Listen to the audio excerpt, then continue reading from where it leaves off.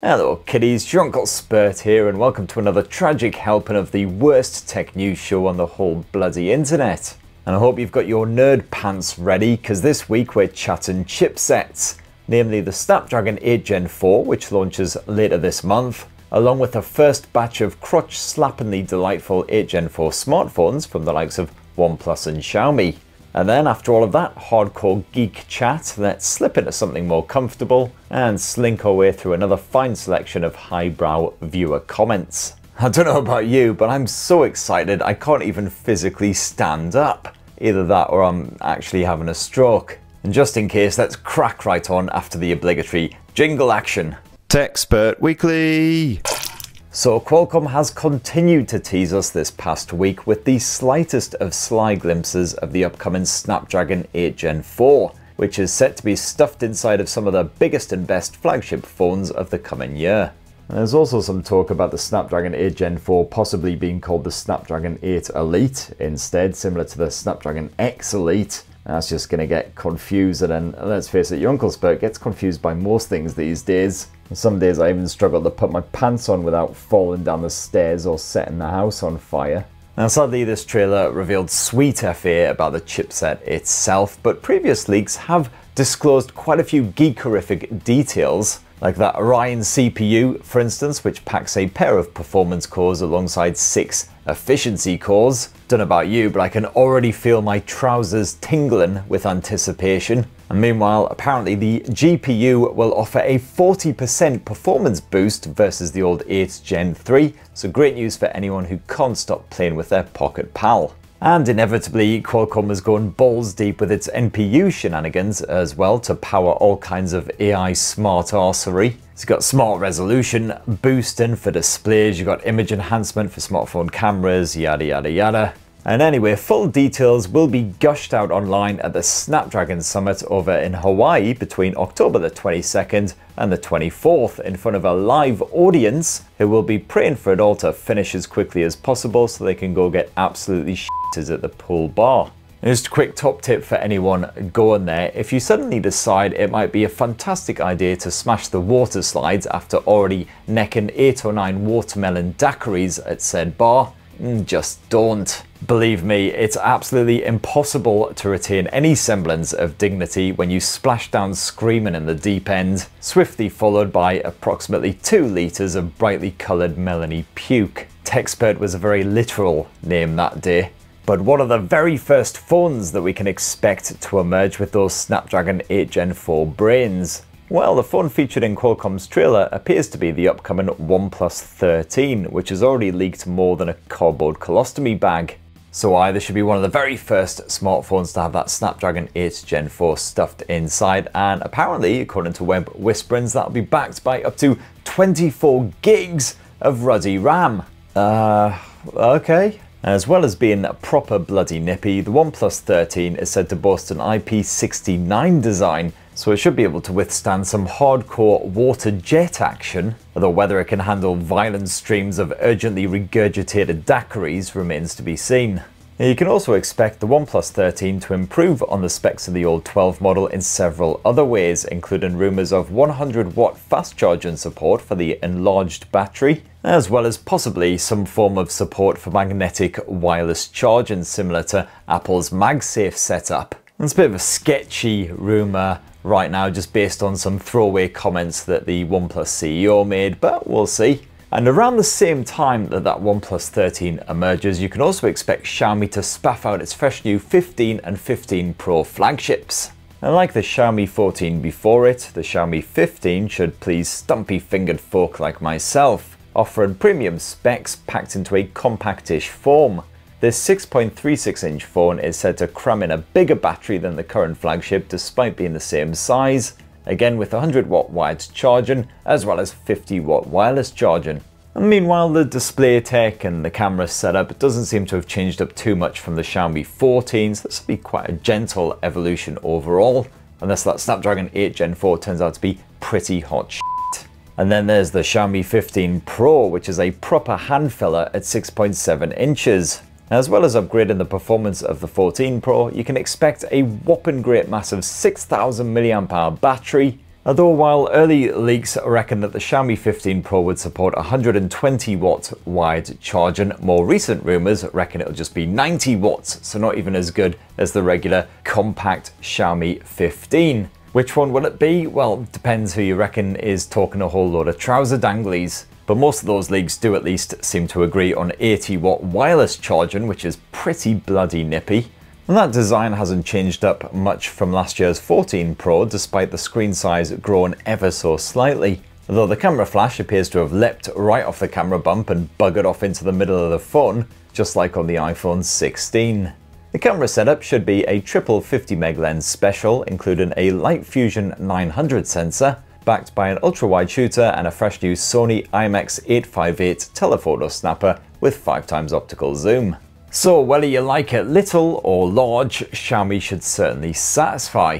And there are plenty more Snapdragon 8 Gen 4 blowers lingering on the horizon uh, as well. So for instance, Oppo's Find X8 and Find X8 Pro are expected to arrive with the Snapdragon rival stuffed inside MediaTek's Dimensity 9400, but their Billy Big Bollocks effort, the Find X8 Ultra, is expected to rock the 8 Gen 4. However, so far, not much is known about the Oppo Find X8 Ultra model, unlike the Find X8 and the Find X Pro, whose specs and features have gushed out everywhere, much like a Hawaiian daiquiri special. So it's probably still a little ways off. You could also expect before the year's end the likes of the Asus ROG Phone 9 and probably a 9 Pro or a 9 Ultra, as well as flagships from the likes of iQOO, Realme and Honor.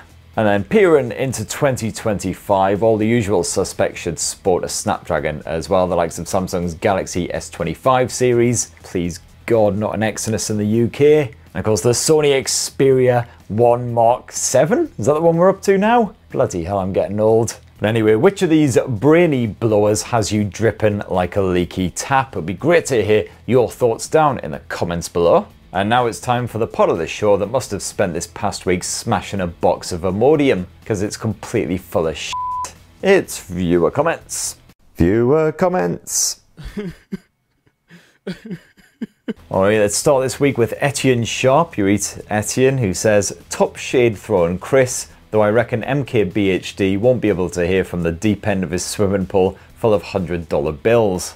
Now, while he may have a vast fortune, a professional studio, and a whole team full of lackeys who do all of his work for him, but you know what he hasn't got? Well, a one-eyed, foul-mouthed sock puppet for one.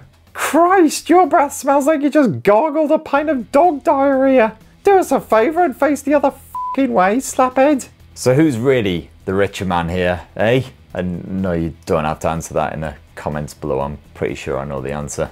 Just MDD4 says, Uncle Spurt, today is the day I turn on the notifications bell. A most wise decision, sir. John Whitehead says, Uncle Spurt wallpapers? What's next? Uncle Spurt brand crisps? It's a bloody good idea, actually. I mean, basically, if you just draw a smiley face on a Pringle, you've pretty much got a crisp representation of my head. CP Box Set Playlists says you definitely watched Rolf's Cartoon Club with them drawings. I mean, to be honest, I can't remember Rolf ever smashing out a picture of a jizzing cock on the show. That might have been a bit obvious. Get on in, little Johnny. What do you think of this drawing then, eh? You want to see one in real life? So apologies to our Aussie chums for absolutely appalling accent right there, or attempted an accent. Ravens Claude says, imagine landing on that desert island and discovering the self-pitying Philip Schofield as your sole companion. Ugh, it would take an awful lot of tropical booze to get over that particular trauma, that's for sure. I don't think any watermelon daiquiris would cut it. Need an entire vat full of tequila sunrises and slippery nipples. Now, TJ379 says, Somebody please give this great show an award. No hot water and no internet, and they're still entertaining. Oh yeah, of course, um, update, uh, TechSpurt Towers 2.0 finally has the bloody internet. We are online, baby. It sounded like it was quite the pitched battle, but OpenRage came, they drilled and they banged and did whatever they do, and finally, after many hours, they managed to get it working. So now, no need to go to Wetherspoons to upload bloody videos anymore. The only time I need to set foot in that place again is when I want to get absolutely shitted for a tenner, which is fairly regularly, to be fair. The topic of discussion last week was, of course, the fresh new Redmi Note 14 Pro and Pro Plus, which have launched China side, should be launching globally, hopefully towards the arse end of 2024, but if not early 2025. I had quite a lot of correspondence on those as usual. So for instance, Tom of the Pops says, remember when you could get a mid-range Redmi with a Snapdragon chipset for super cheap? Those were the good days. And Fixit3967 doesn't sound too happy. Deep breath. After the Redmi Note 13 Pro Plus, I'll never buy another Redmi phone again. It got buggy after the Harmony OS update. The camera sucks. There's no way to turn off the auto softening feature of the photos, and there's a load of bloatware that I can't uninstall. I'm sorry to hear you've been having such a rough time with it. I mean, personally, I've found that Harmony OS uh, on that particular model and all the other Redmi's that I've tested out hasn't been any more buggy than a lot of other launchers that I test out, frankly. Might just be that you've been particularly unlucky, but uh, I agree, the camera does need to calm the down at times, and the bloatware situation is It is absolutely the software side of these Xiaomi phones that might turn some people off, because generally the hardware's pretty solid. The MTK93 says, I want to know how is the 50 megapixel camera compared with the Redmi Note 13 Pro's 200 meg camera if the Note 13 Pro is better, then I'll probably go for that, or the Poco X6 Pro. Poco is a bit of a banger for sure. Daniel Dyke says, Hi Uncle Spurt, I've been rocking the Oppo Find X5 Pro for over two years and looking for my next mid-range flagship killer. What would be your suggestion? Well, that is some expert timing right there, Dan my man. Literally just this week, I put live my update to the best mid-range smartphones right now video, which I've been meaning to do for ages because there's been bloody tons of them these last sort of two, three months. If you can't be asked to watch that for whatever reason, to be fair, it's the best part of 20 minutes, that's valuable drinking time. Although, hey, why not combine drinking and a bit of Uncle Spur action, the perfect combination? Well, the TLDR version is basically Pixel it's really good. I'm a massive fan of the OnePlus Nord 4 as well, cracking bit of kit that is, and also the Nothing phones are really, really good. Something a bit more unique. Uh, next up, Imperator Somnium says the S24 Ultra is GOAT. I don't turn on my TV anymore. My mum, on the other hand, hang on, you you turn on your mum? Oh no, wait, there's there's more. My mum, on the other hand, I got her the iPhone 16 and now she wants to switch phones. I mean, come on, what kind of cruel offspring would force an iPhone on their elderly parents? That's right up there with pushing them down the stairs for the inheritance. Dynamo Tight Star says, I've recently got tinnitus, tinnitus, however you say it, quite bad, and I found listening to you drawn on is the only thing that makes me feel slightly better about my situation. Who knew there'd be something that would make me welcome tinnitus back? Yes, I, I also have the, the tinnitus, tinnitus, tinnitus, that ringing in your ears. That's why I listen to a lot of angry, shouty rock music just to kind of drown it all out. Although to be fair, it was probably the angry, shouty music that did my lugs in in the first place, that and the endless happy hardcore raves from back in the late 90s. On the subject of King Kong fallen to his death, Mythic Sons says it depends on which King Kong you're talking about.